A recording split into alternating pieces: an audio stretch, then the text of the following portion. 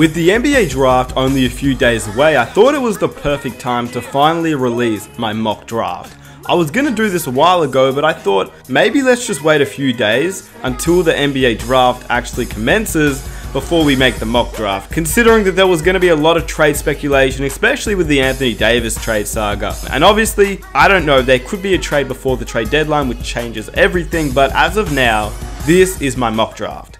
As of the 18th of the 6th, 2019. Before we get started, be sure to let me know your mock draft down below in the comment section. And if you enjoy these types of videos and you want to see more, be sure to hit that subscribe button and leave a like on this video so I can keep uploading them in the future. By the way, thank you for all your support recently. Videos have been uploading more regularly. You guys have been showing a lot of support, so it's all working out, and I really, really thank you guys for that. Anyway, this is what I believe. It's pretty obvious, the first three picks, so we're going to get into that pretty quickly, because we all kind of have the same top three, let's be honest.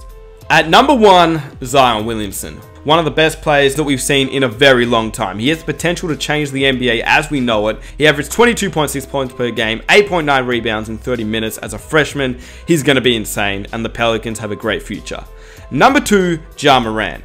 Conley will be used as a mentor for Ja Morant up until the trade deadline, and then they'll probably ship him off to a contending team, and the Grizzlies will probably get a future first round or something along the lines of that. But Morant, as of right now, 24.5 points, 10 assists, almost 6 rebounds per game as a sophomore. Obviously, some of the passes he does, he's pretty risky. Evident through Morant having 5.2 turnovers per game. If you're going to compare him to anybody, he'd be like a young John Wall entering the league. John Wall, obviously, turned it over like crazy. I think he led the league in turnovers when he entered the NBA. So Morant, he needs to work on his turnover ratio, but as of now, he's exciting. He's in the mold of a Derrick Rose, Russell Westbrook, John Wall type of player. He's quick, can get to the hoop, and Morant has an actual decent jump shot as well. Number three, RJ Barrett. Basically, everybody thought that this time last year, Barrett was going to be a top two to number three pick. And that's where he fell. 22.6 points, 7.6 rebounds, 4.3 assists per game in 35 minutes. RJ Barrett seems like a great player to enter this draft. He'll look to be a go-to scorer in the NBA. I still think RJ Barrett will be an all-star, and I think he'll be a great player, but in my opinion, I just don't think he'll be as strong in the NBA as some of the other guys in this draft. But like I said, that's a risky pick to say, but I just see him as like a Jaylen Brown, Brandon Ingram type player where he enters the league, top three pick, but he just doesn't produce at the start. But who knows what he'll be? He could be better than anybody. That's just my opinion. At number four, with the New Orleans Pelicans now selecting at the fourth pick, my mock draft changed. Originally, when the Lakers had this fourth pick, I was actually considering the Lakers drafting Cam Reddish at four or Jarrett Culver. But now that the Pelicans are drafting at number four, I think they're going to go with DeAndre Hunter. Obviously, the Pelicans need a big man. That's their main primary focus, in my opinion, this upcoming free agency. And with a lot of big men in free agency, they have a few options to go to. If you want to see what I think they'll do in this year's free agency, you can click the video down below in the description box below. I made a what is next for the New Orleans Pelicans, but at this stage, with the NBA draft, I think they'll go with DeAndre Hunter. He would fit pretty well with the New Orleans Pelicans. Obviously, they have a young core of Lonzo, Ingram, and Williamson, and they have potential trade assets in Jrue Holiday, who they can still keep on this team. There's a lot of ups and downs in what the Pelicans can do, but I think DeAndre Hunter is a guy that either you can keep, you can trade, and you can just see what happens in the future. The reason why I think the Pelicans will draft DeAndre Hunter is because obviously Ingram, Lonzo, Jrue Holiday, and even a little bit of Zion Williamson demand the ball. They are ball dominant players. Not really Zion, but definitely Zoe, definitely Jrue Holiday at times, and definitely even Brandon Ingram is a ball dominant player. DeAndre Hunter isn't a ball dominant player, and he seems like a type of player who can adapt to any role that is necessary for a team. And this is something, once again, is a little bit risky, but what's the point of making a mock draft if it's not a little bit risky and it's not your own opinion? So, if the Pelicans don't draft Hunter, don't be surprised, in my opinion, if they trade down, collect more assets while maintaining a solid 4 to 10 pick in the draft, and then select a player like Bol Bol. Nobody knows if he'll be a good player in this draft, a bad player in this draft, an average player in this draft, a guy with potential in this draft. Nobody really knows what Bol Bol is. So Bol Bol could be a guy that the Pelicans may look to go to considering they need a center. They do have this draft pick, which they can acquire more assets from as well as Bol Bol. But back on Hunter, he has a 6'7 wingspan, B can guard multiple positions, and C, he shot 43.8% from three point range, which is really, really good, leading Virginia to the national championship. During the national championship, Hunter not only led Virginia to the title, but he also outplayed Culver, dropping 27 on his head, while Culver had a disappointing 15. Number 5, Jarrett Culver. I think he'll be going to the Cleveland Cavaliers. He averaged 18.5 points, 6.7 rebounds, and 3.7 assists in 32.5 minutes per contest this season, whilst helping Texas advance to the championship game of the NCAA tournament. Now, in saying that, I do think Culver could even go 4 to the Pelicans and Hunt could go 5 to the Cavaliers, but that is just a swap and pick there. That is my opinion, and that's who I think the Cavaliers will draft. Number 6, Darius Garland to the Phoenix Suns. Last year's number one overall pick, DeAndre Ayton, is on record saying that the Phoenix Suns need a point guard. And whilst they tried Devin Booker this year to run the one, obviously they want to run him at the two for the rest of his NBA career. The thing about this though is the Suns surprisingly have a potential chance to land a free agent point guard, whether that be a guy like Terry Rozier or an even better player in a guy like D'Angelo Russell. Remember, Booker and Russell are great friends, number one, they would then have a potential chance to sign a guy like Karl-Anthony Towns, who is also a great friend of Russell and Devin Booker, and that could be a future big three with DeAndre Ayton, and if they can draft a guy like Darius Garland, look out. But in saying that, let's just look at what the Phoenix Suns have right now, and right now, they need a point guard. And Darius Garland is a great point guard at least from what we've seen. Obviously, he wasn't in the ideal situation because he did get hurt, and he only appeared in 5 games before having knee surgery. He averaged 16.2 points, 3.8 rebounds and 2.6 assists while shooting 53.7% from the field and 47.8% from three point range. He's great with the ball, he's a tremendous shooter, and if he develops into an all star, it definitely would not surprise me. His game is somewhat similar to Damian Lillard with his shot creating ability, and I think he'd be a perfect fit on the Phoenix Suns. But if they don't go there, it wouldn't surprise me if they went for a guy like Coby White as a safer option, considering that Garland only played in five games this season. Speaking of Coby White, at number 7, I think the Chicago Bulls select Coby White. Obviously, they need a point guard. Yes, they do have Kris Dunn, but they don't seem too settled with Kris Dunn. I think this is one of the most clear-cut players who will be drafted at 7 if he doesn't get taken higher. Number 8, Cam Reddish to the Atlanta Hawks. I think in my opinion, Cam Reddish will be the second greatest player in this year's NBA draft. I'm so high on Cam Reddish, but the thing is, I have him at 8, and personally, that's just because I don't think teams will try and target him earlier than 8. I just don't really think so. With that, the Atlanta Hawks are looking amazing. Not only do they have the 8th pick, but they have the 10th pick. Not only do they have Trae Young, they have John Collins. Not to mention, even Kevin Huerter is a decent shooter, and he's a guy that seems like he could be a great 6 man, and if he even improves, a decent 3 point shooter as a starting player in this league. But anyway, let's talk about Cam Reddish. So alongside Trae Young, John Collins, Kevin Huerter, Reddish seems like a great fit for this team. He would benefit from playing alongside a guy like Trae Young, who gets his teammate involved, and he'd be able to spend his opening years working as a better three-point shooter. He also was the third option at Duke alongside RJ and Zion, and therefore Cam was obviously going to have a lesser role in this big three, which means averaging 13.5 points, 4 rebounds, and 2 assists as the third option is not actually that bad.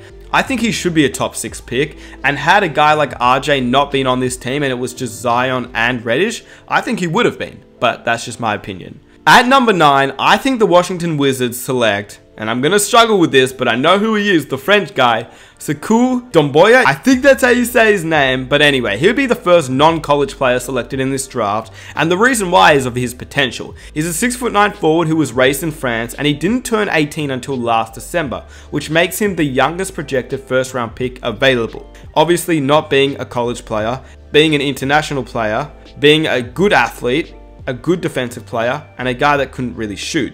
Although Doumbouya actually surprised a lot of teams and is actually hitting a lot of his shots at the pre-draft workouts. He's a good athlete who can run the floor and play above the rim whilst guarding multiple positions. Whilst I don't know much about him, I know he's sounding a lot like Pascal Siakam and we know how that turned out for the Toronto Raptors. He obviously played in France, meaning that when you play international, your minutes get cut a little bit and it's basically your potential that will get you drafted. He only averaged 7 points and 3 rebounds, so does he seem good? Not really, but it's the potential. And in the NBA, a guy with potential is a guy that you could draft. With the Washington Wizards selecting him, I'm not sure if that is the best team for him to be selected to, but we'll see what happens. Number 10, Bol Bol. Considering your 7th overall pick, if you're the Atlanta Hawks, is your main and prized possession, why not take a risk? If Doumbouya is still there, I wouldn't be surprised if they pick him, but if he isn't, Bol Bol is the guy that you have to take a risk on in my opinion if you're the Atlanta Hawks. Number one, they need a center. Number two, he's one of the most unique and one of the highest potential players in this year's draft. Whilst he's not as quite as tall as his father, the iconic Manute Bol, he is still 7 foot 2. So he's very tall and a guy who can space the floor, shoot threes, pick and pop, play defense, and what's crazy is that he shot 52% of his three-point attempts as a freshman at Oregon, which suggests that he could be a guy over 7 feet tall to be a weapon from the three-point line. And if you pair that up with Trae Young, John Collins, and even Cam Reddish, that could be insane for the Atlanta Hawks. And that's just good news. The bad news is that he suffered a foot injury, and this could be a scary thing in the NBA. When you start getting one injury here and there, it can lead to two to three, and you may, you know, see another big man go down the wrong path. He's actually a very similar player to Kristaps Porzingis, and I like Porzingis when he was picked by the New York Knicks. There are many questions yet to be answered. Personally, his 21 points and 9.6 rebounds with 1 assist shooting 50% from 3 while providing 2.7 blocks says it all. I seriously don't understand why people aren't taking Bol more seriously. Maybe it is because his name is Bol, I don't know. But the fact that Darius Garland only played 5 games, although he is predicted to go top 6, people have Bol going late in the first round, top 20. I just think he is a guy that needs to be rated highly. And also, if he can put on some size, watch out. And if teams are scared of him, please, Miami, take the man. We need him. Forget Whiteside, forget Adebayo, take Bol. I'm serious. Number 11, Romeo Langford. The thing about Romeo Langford is I think he'll be the best player available and the better fit for the Minnesota Timberwolves when they pick at number 11. Obviously, they can draft a guy like Jaxson Hayes, but they do already have Towns. They can draft a guy like Rui Hachimura, but I just don't think he'll be a great player when, once again, you have Towns on this team. So, Romeo Langford seems like the better option. I just don't know if he'll be a great fit in the NBA. He averaged 16.5 points, 5.5 rebounds, 2.3 assists in 34 minutes, so he is a former 5-star recruit, which still remains as an intriguing prospect, but I just don't know how good he'll be in the NBA. Number 12, Jaxson Hayes to the Hornets. I just think if you're the Charlotte Hornets and you need a center, he'd be the best center available at this point if Bol Bol isn't taken. I think Jaxson Hayes is just a guy that will be there, play his role and do his job, but he won't be a standout in this league. Number 13, the Miami Heat. I think they select Rui Hachimura if he's there at number 13, and as a Heat fan, I would take that. The Heat are in a weird situation. We have a lot of guys on a lot of hefty contracts, but in only two years, they could be all off. We could have Josh Richardson, Justice Winslow, Bam Adebayo, and another future piece to add to that young core. Well, Jay Rich isn't too young, and neither is Winslow or Adebayo, but they're young enough to have a young core. And Rui Hachimura could fit. Stretch forwards who can guard in space and constantly make three pointers are more preferable now. And that is great news for Miami and great news for Hachimura. Obviously, if they do draft a guy like Hachimura, it means that Bam Adebayo would play the 5, and hopefully you could trade Hassan Whiteside for a few potential first round picks. Anyway, he's a 6'8 forward from Gonzaga who averaged almost 20 points, 6.5 rebounds, shooting 41% beyond the arc, which is great for the Miami Heat as they need more 3 point shooting. He can punish smaller opponents around the rim, exploit bigger opponents on the perimeter, similar to the way that Thaddeus Young has been doing it in the NBA for more than a decade. And if you know me and you've known my channel for a long time, you know I love Thaddeus Young. And I think Rui Hachimura has a lot of potential and could be a great fit for the Heat if they are able to draft him and if he falls to that pick. If they don't, I think the Miami Heat will select a guy like Bol Bol if he's available, or they'll probably select a guy like Romeo Langford if he's still there. Or even a guy like Naz Reid or Nassir Little, I wouldn't even be surprised. At number 14, the Boston Celtics select Alexander Walker. I don't know too much about him, but what I will say is that he looks like a decent player. For the Boston Celtics, I don't know what they're looking to do considering they may lose Kyrie and they may just have to build what they have with their young core, with Tatum and Brown, and this guy could be a good fit to build up with those guys. Alexander Walker is a 6'5 guard capable of playing on or off the ball and guarding at least three positions with his height. And when you think about it, Boston need a guy like this considering they may lose Rozier, may lose Kyrie, and they may just look to the future.